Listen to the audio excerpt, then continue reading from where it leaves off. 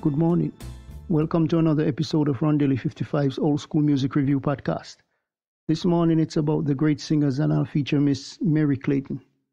She was born on December the 25th, 1948. She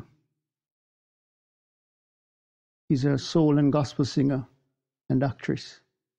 Uh, was a part of Ray Charles, the Raelettes, and also did some background vocals for many artists. Uh, the Rolling Stones, Miss Linda Ronstadt, Pearl Bailey, Lynyrd Skynyrd, and also worked with Carole King and some others. She has had an 18 year run of her solo efforts and continue to do background vocals. Uh, for song you can listen to uh, Gimme Shelter, that Rolling Stone version. Uh, the Shoop Shoop song, It's in His Kiss. Who Can I Count On When I Can't Count on You? And she did this with Bobby Darin. Lift Every Voice, Yes. And she also had a version of Gimme Shelter.